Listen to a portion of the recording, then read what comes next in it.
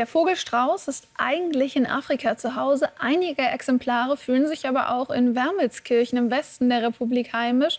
Und so viel sei verraten, die Haltung und Pflege bringt einige Herausforderungen mit sich. Wie die Laufvögel nach Nordrhein-Westfalen gekommen sind, schauen Sie mal. Diese Zeitgenossen haben den Durchblick und gleichzeitig den besten Ausblick. Ihr Zuhause ist mitten in NRW auf der Straußenfarm von Klaus Stöcker. Seit 2008 züchtet er die imposanten Tiere. Seit acht Jahren unterstützt ihn Kerstin Schnabel als Betriebsleiterin. Auf 12,5 Hektar pflegen sie 200 Jungtiere und acht Zuchtfamilien. Das beste Lob, was wir bekommen können, ist äh, so, wenn unsere Gäste sagen, ich esse ja normalerweise kein Fleisch, aber Straußenfleisch esse ich einfach der Haltung geschuldet und dem, wie sich die Tiere hier fühlen, wie wir mit den Tieren umgehen. Es ist schon eine Leidenschaft hier. Hauptberuflich leitet Klaus einen metallverarbeitenden Betrieb. Vor 15 Jahren übernimmt er zusätzlich die Landwirtschaft der Eltern und die erste Straußenfamilie zieht ein. Und mit ihnen ein Hauch von Hollywood. Zweimal kurz, einmal lang, ein ganz dumpfer Ton. Machen die Tiere über die Sommermonate rund um die Uhr. Hört sich an, wenn das hier durchs Tal hallt, so ein bisschen wie Jurassic Park. In den ersten zwei, drei Jahren hatten wir auch immer wieder Anrufe von den Bergrücken der umliegenden Bebauung. Kerstin hält den Laden zusammen, macht Führungen und ist täglich bei den Tieren. Zusätzlich zum Weidegras bekommen die Strauße eine Getreidemischung. Jetzt kann man sehen, dass die Tiere halt das Futter auch gierig aufnehmen. Irgendwann geht dieser Futterklumpen den ganzen Hals runter bis zum Magen.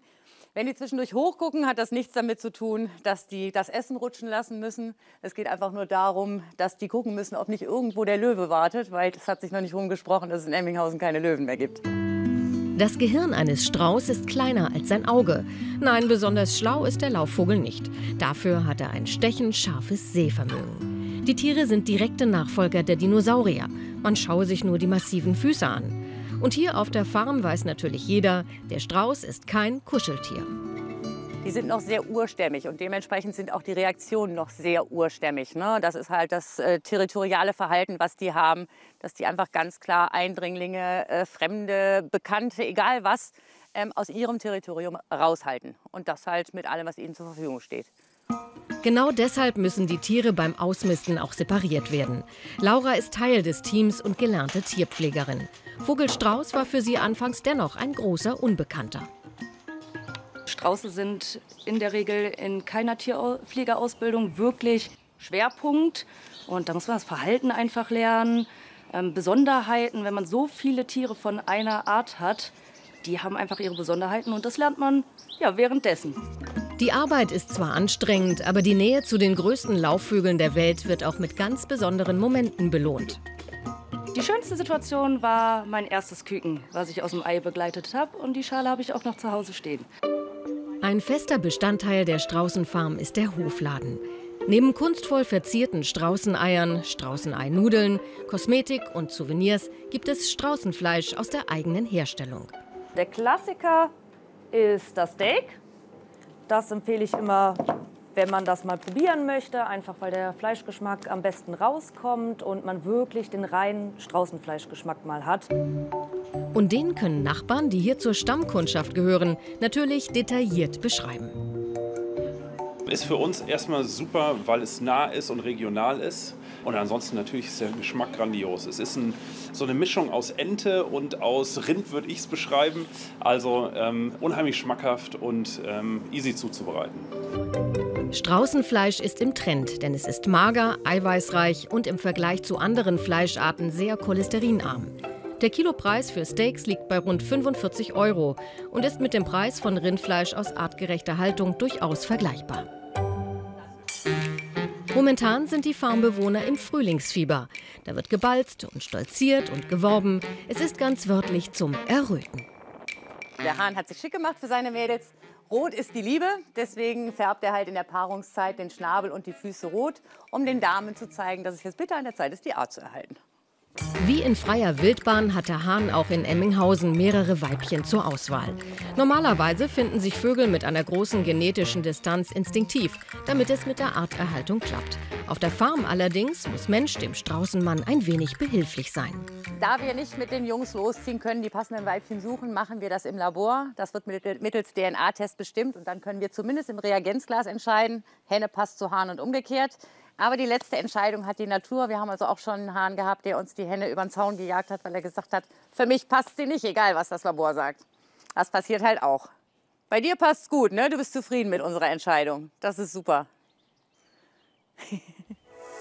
April bis August ist bei den Straußen Legezeit. Jede Henne präsentiert ungefähr 20 bis 50 Eier pro Saison. Die Gelege werden zunächst gesammelt und dann gruppenweise im warmen Brutschrank ausgebrütet. Ein einziges Straußenei wiegt locker über 1,5 Kilo und die Schale ist so hart, dass sich ein Mensch problemlos draufstellen kann. Die Eier liegen bis zum 39. 40. Tag hier bei uns im Brutschrank und wir können beim Durchleuchten der Eier erkennen, wann das Küken in dem Ei die Luftblase öffnet. Das heißt, in dem Moment stellt es von Kapillaratmung, also von der Atmung über die Eioberfläche auf Lungenatmung um. Und dann nehmen wir die Eier aus dem Brutschrank raus und legen die in den Schlupfschrank, der nebenan ist. Noch ist hier nichts los, aber in ein paar Wochen werden die ersten Küken das Licht der Welt erblicken, so wie auch letztes Jahr.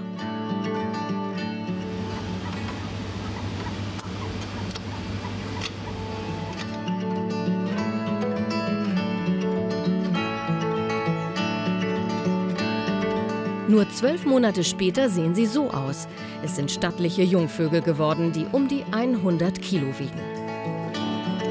Grundsätzlich züchten wir natürlich auch Tiere zur Schlachtung. Nur vom Angucken kann keiner leben. Ich esse grundsätzlich Fleisch. Und deswegen weiß ich, dafür stirbt ein Tier. Ich finde es halt sehr wichtig, dass Tiere artgerecht aufgezogen werden. Und dementsprechend finde ich es halt auch wichtig, dass man ähm, verantwortungsbewusst mit dem Leben umgeht.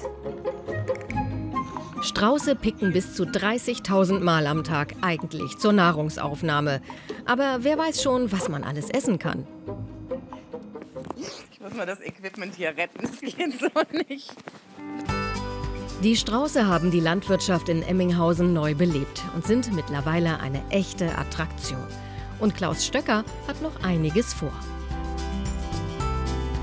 Also was wir ganz klar noch auf dem Schirm haben und machen wollen und auch die entsprechende Immobilie schon gekauft haben, ist ein Hofcafé.